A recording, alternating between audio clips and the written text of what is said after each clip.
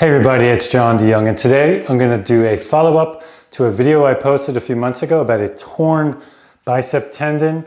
This is the long head proximal tendon, actual photo of when I tore the tendon off the bone.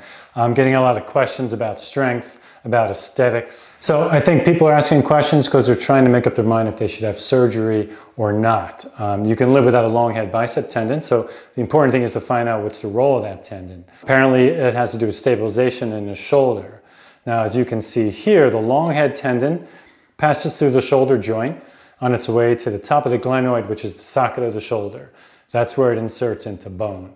So the good thing is you tore the tendon off the less significant uh, uh, head of the bicep. The short head bicep tendon is a hell of a lot more significant than the, than the long head. So that's good for you there. and again, there's evidence that shows that the long head tendon doesn't really help with stabilization in the shoulder. So, so if you decide not to have surgery, uh, you should really focus on strengthening the rotator cuff muscles, four of them, teres minor, infraspinatus, supraspinatus, and subscapularis. So even if you do have surgery, those are really important to keep strong because you've had trauma to the shoulder.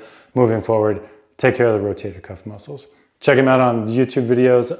Today we're discussing strength and aesthetics for the long head bicep tendon tear. So let's talk about strength. Great thing is I got 90 to 95% of my strength back. Um, so that's a great thing. And it's going to take some time, six months to a year, depending upon your work ethic, how often you train it, train it smart uh, but you'll get the strength back. So we got one more. It really comes down to one thing about this long head bicep tendon tear is aesthetics. You know, you got the Popeye bicep. Everybody talks about that as a bad thing, and I don't think it's that bad. but you will have that void, as you can see here and in this picture. Um, so you want to fill in that void because again, if you're wearing a tank top or nothing, you're gonna you're gonna see that. So what can you do?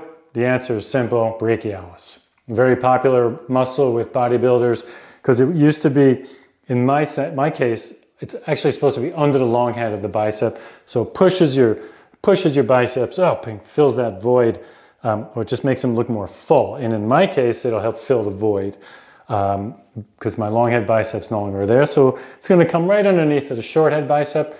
Give that a little more volume. Uh, the brachialis, okay? It's, um, it's great because it actually a response to palms down, inverted bicep curl, palms down or palms in, hammer bicep curls. Okay, so again, palms down or palms in. You could do a single dumbbell, you could do barbell, EZ bar curl.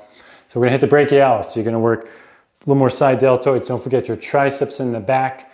You wanna fill in the back with the triceps. We've got the short head, you're gonna crush that. And now we're gonna add brachialis to it. The brachialis is made up a lot of fast twitch muscle fibers. So again, you're going to probably err around four to eight reps for hypertrophy failure and really work the eccentric or the way down. It responds well to that, okay? So brachialis is your answer, okay? Get those arms big. If you have any more questions, shoot me a comment and uh, best of luck. Let me know how it goes. Okay, guys. Subscribe if you haven't, and I'll see you soon.